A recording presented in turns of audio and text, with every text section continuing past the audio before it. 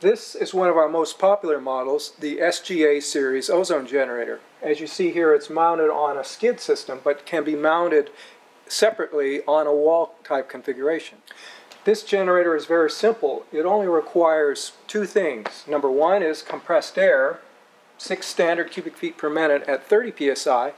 The second requirement is electrical power, 220 to 240 volts at 30 amps. I would like to introduce to you the major components of the SGA series ozone generator.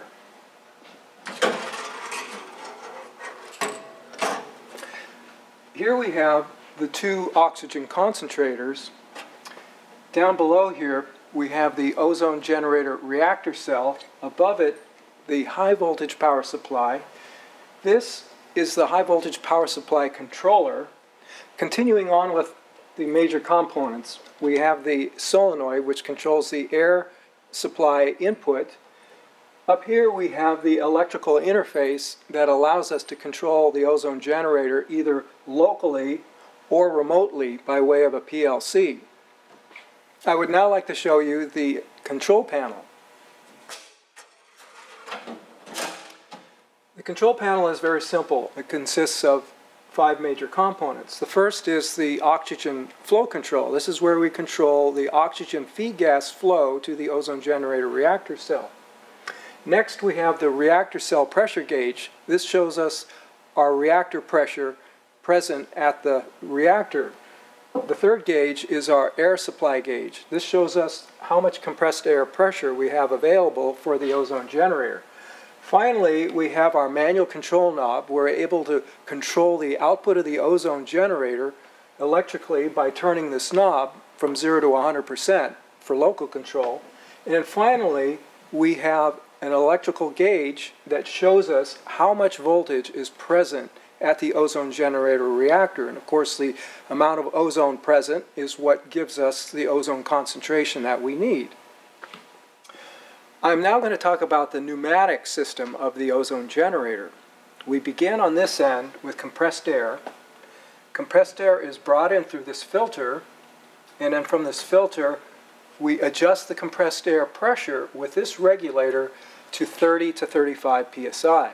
From there, the compressed air travels to the compressed air solenoid, the job of the solenoid is to prevent compressed air from entering the oxygen concentrators when the ozone generator is powered down. It's very important that we do not pressurize the oxygen concentrators when they do not have electrical power available.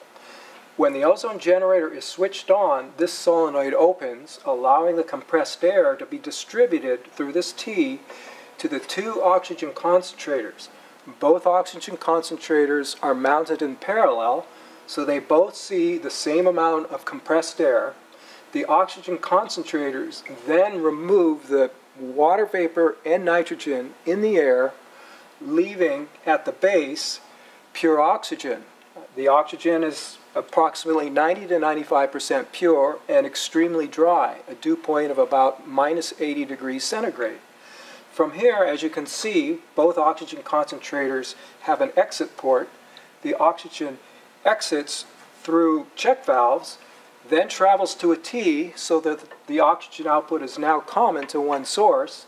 From this point, the oxygen travels up through to the flow switch and the flow meter.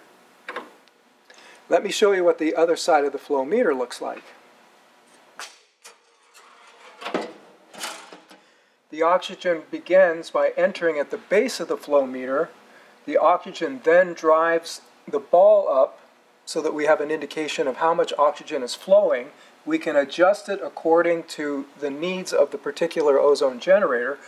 From this point, the oxygen leaves the flow meter, and then we go, we go inside again, and we follow the path where the oxygen comes down all the way through this piping and enters the ozone generator reactor cell. It's here where the oxygen is converted to ozone. At the bottom of the reactor cell, the ozone is then extracted and then brought through a needle valve and then out through a bulkhead and then to the application.